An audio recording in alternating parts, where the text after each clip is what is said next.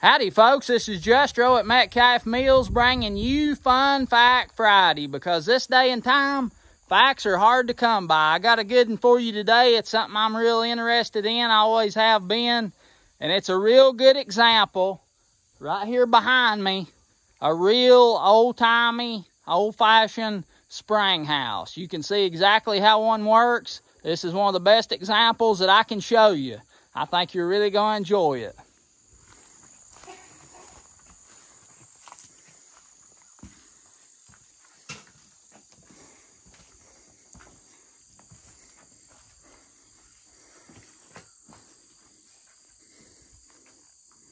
This is the old reservoir for the house. And this is where the, the water was caught to have a storage.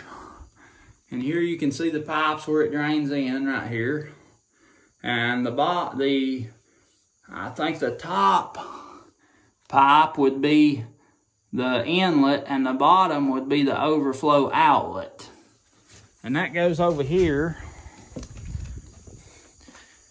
and right here is where the water would run out into this bowl catchment.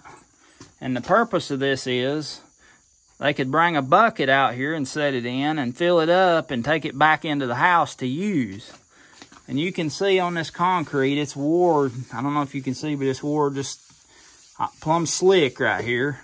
And there's a notch out right here, and I'd say that's from somebody lifting a bucket out and maybe the bracket on the side of the bucket or something scratching right there at the bottom of the bucket rubbing that and it's cut a groove in there. But you got a drain right here for this catchment and that comes out over here. I don't, we don't know what this pipe was, was talking about it a minute ago. But this is a great example of a good old spring house and how they was built.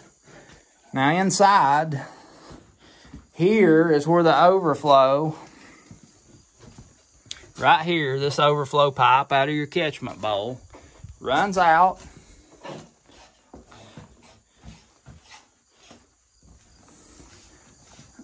Also here, they did, this was full of water all the time, so they could dip a bucket full up and take it in the house. Maybe not set it down and just fill a bucket, but they could dip a bucket all the time. Overflow comes through here, comes into the spring box right here. Now this section of the spring box was probably used for butter, little shallow vessels, stuff that was not tall. They would set them down in here and that water running all the time kept them cool. Well, when this one fills up, it overflows down into the bigger trough. And see, it's got a step down system here. And the way that works, if you've got a vessel that's maybe as tall as a quart jar or a pint jar, it would set on this this level. And then you got another level here that's about two inches deeper in the water. And then down here is your deepest section for your big tall vessels. And then you got a drain and an overflow down here. So when the water fills this trough up to that level, it overflows out right there. And this would be setting with milk cans, Anything that you'd put in the refrigerator at home is what they would store in here to keep it cool.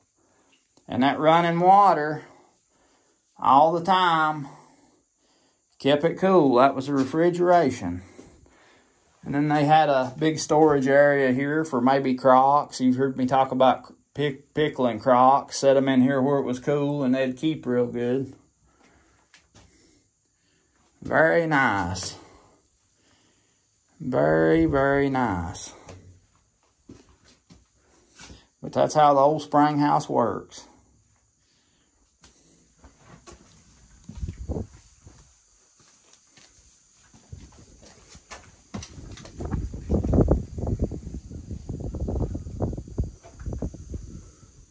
Folks, I hope y'all enjoyed today's Fun Fact Friday. I really did enjoy it.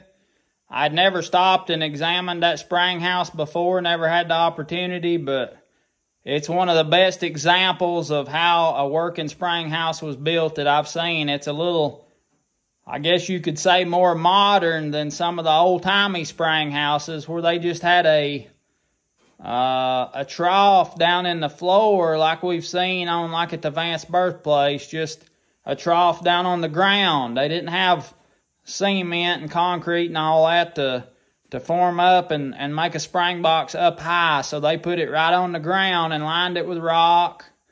And that's how they done it. But this is a good example of a more modern version of a spring house. Anyway, I hope y'all enjoyed it. Also, I wanted to say I was a little excited on my meal video yesterday, but I wanted to give a big holler out to my friends at the Holler Homestead, Ben and Meg. They're real sweet people and they got some sweet children.